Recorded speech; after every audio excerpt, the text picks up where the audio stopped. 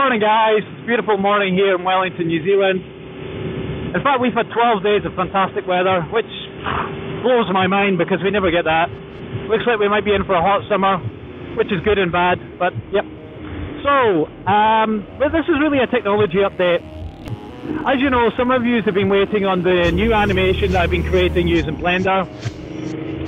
And I've created the animation, I'm really happy with it, uh, but I keep hitting technological limitations, and what I mean by that is my computer really is just farting out on trying to be able to um, create the content that I want. It's it's it's actually quite ridiculous. It's taken me almost a day to create one image as part of the um, 400 or so images that I need as part of this animation because it's quite rich, rich in information or quite rich in visuals. So what I've done is I've gone back, I've removed some of the visuals to try and um, clean up the scene to try and make it a little bit easier. Yeah, now I'm down about half a day in image.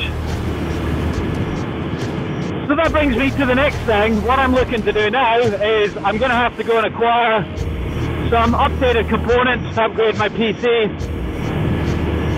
Um, I'm looking to go out and buy um, the NVIDIA GTX. I haven't decided if I'm going to spend the $1,500 I need on the 1080 Ti or if I'm going to go for the maybe the older 1060, which is the upgrade for the GTX 970. Some of this information will just be going right over your head. Um, or to go for the more budget-based, which is still a really good card, which is the GTX 1050 or 1050 Ti. I've yet to decide on that. I thought uh, the more expensive, the better. I've looked at all the uh, the GPU comparisons you know, starting off versus my current card, versus, versus the top versus the in-between models, kind of work out what percentage difference that will make for me. Look at reviews on YouTube with regards to people using those cards and using Blender. Um, so yeah, just watch this space. We'll get there.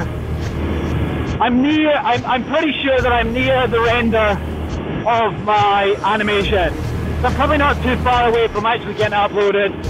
Um, to be fair, some of that's also my fault as well because I've made amendments, I've found things that have niggled me, and I've gone, oh, I don't like that, I'm going to redo that.